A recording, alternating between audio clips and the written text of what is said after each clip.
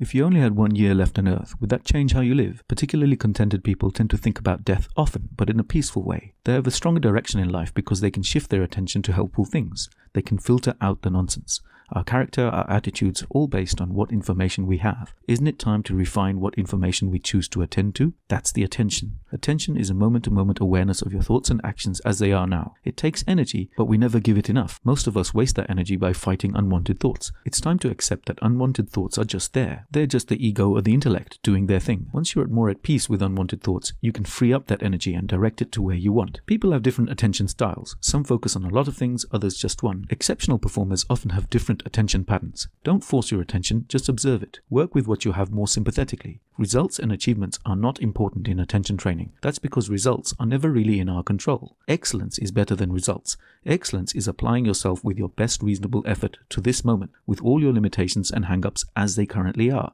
Results will come and go, but excellence is your effort. Excellence is controllable. If you have an inner critic, don't fight it, let it shout. You can quiet it down by accepting that it's there and gently disagreeing with it. No more than that. The inner critic is like a bully. He thrives on attention when he's all hyped up. Gently accept him and ignore him for now. He loses his energy. That energy now becomes yours. Shifting your mind to long-term goals is also a skill of attention. One technique we cover in the course is to imagine your future self. Would your future self in one year thank you for doing what you're doing today? This is a very centered approach. It helps you to steer your life. Look, attention fails because we let biases and assumptions get in the way first. That's because the ego tries to make sense of things too quickly, jumping to conclusions and extremes. Take a fresh approach. Wait for the ego to calm a little and then see past it. You'll start to notice things more accurately. It takes physical and mental practice to do this, so get on with it. The next module in the course shows you how.